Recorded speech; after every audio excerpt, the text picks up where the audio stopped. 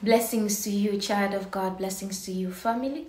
This is God's Word with Lady Risa, and I welcome you all in Jesus' name. God laid in my heart a word for somebody, and I'm glad that He's using me to talk to you today again, as always. Thank you all for listening. Thank you all for watching. I believe that by the power of God's Word, as you continue to follow up the sessions, your life will never be the same again. In Jesus' mighty name.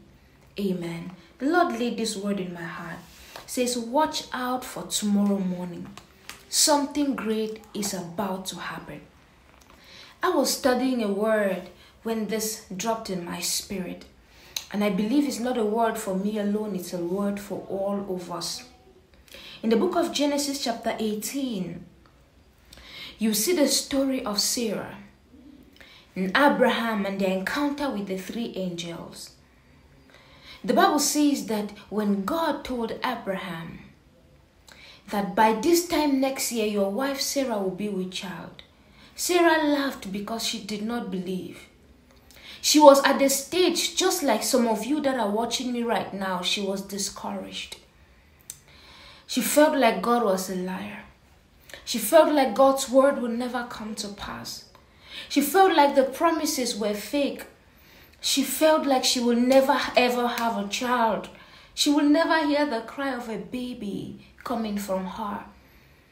To a point where she even got started looking for alternatives and brought her servants to be with her husband and give her husband a child. So when she heard this prophecy, she laughed in unbelief. She did not believe that it could happen.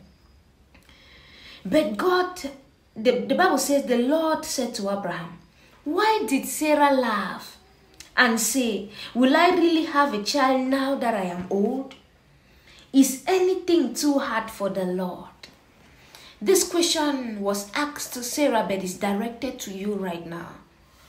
You're thinking is taking too long. You're thinking the answer hasn't come. When God says tomorrow, it is tomorrow. And He's asking you, you that is not believing my word, is there anything too hard for me to do? That is what God is asking you right now. I want you to answer me at the, at the comment section. Type your response by faith and say, Lord, I know you can do it. You will receive the answer. I can't wait to hear your testimonies. God bless you all in Jesus' name.